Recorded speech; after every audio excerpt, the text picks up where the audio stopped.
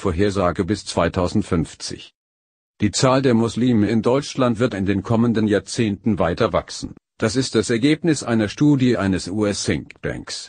In anderen europäischen Staaten dürfte der Anteil noch deutlich stärker steigen. Setzt sich die Migration von Muslimen nach Deutschland in einem mittleren Tempo fort, dürfte sich ihr Anteil an der Gesamtbevölkerung bis 2050 auf 11 Prozent annähernd verdoppeln. Das geht aus einer Untersuchung des Pew Forschungsinstituts hervor.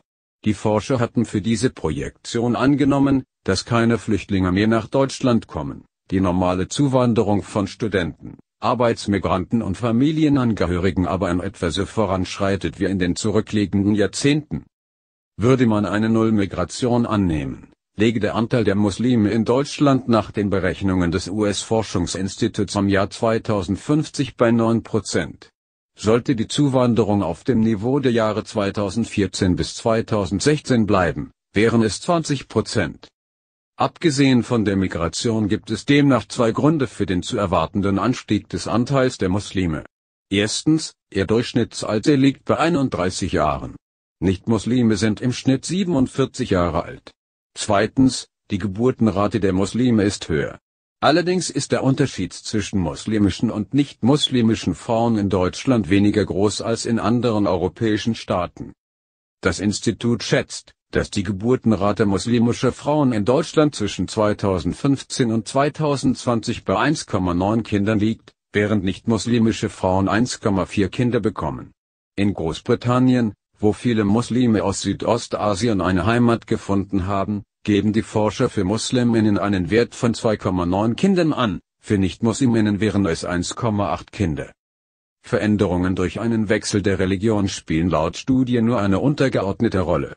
Von Mitte 2010 bis Mitte 2016 lag die Zahl der Muslime, die ihrer Religion den Rücken kehrten, europaweit den Angaben zufolge um 60.000 höher als die Zahl der Konvertiten, die zum Islam fanden. Das Pew-Institut hat für seine Studie Daten aus den EU-Staaten, Norwegen und der Schweiz ausgewertet. In Frankreich leben, auch aufgrund der Kolonialgeschichte, mehr Muslime, rund 5,7 Millionen, als in jedem anderen europäischen Land. Ihr Anteil an der französischen Gesamtbevölkerung liegt den Angaben zufolge bei 8,8 Prozent. Für Schweden schätzt das Institut den Anteil auf 8,1 Prozent, für Großbritannien auf 6,3 Prozent. Zum Vergleich, in Polen, das sich vehement gegen eine Umverteilung der zwischen 2014 und 2016 zugewanderten mehrheitlich muslimischen Flüchtlinge wehrt, sind weniger als 0,1 Prozent der Bevölkerung Muslime.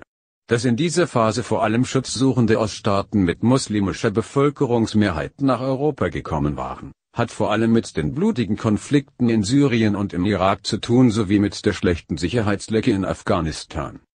Eine weitere Untersuchung des Pew-Instituts hatte dieses Jahr gezeigt, dass die meisten Menschen in Deutschland die Ankunft einer größeren Zahl von Flüchtlingen aus Syrien und dem Irak nicht als ernste Bedrohung wahrnehmen.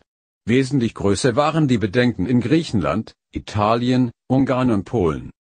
Liebe Leserinnen und Leser, leider können wir bei bestimmten Themen und bei erhöhtem Aufkommen die Kommentarfunktion nicht zur Verfügung stellen. Warum das so ist, erfahren Sie in einer Stellungnahme der Chefredaktion.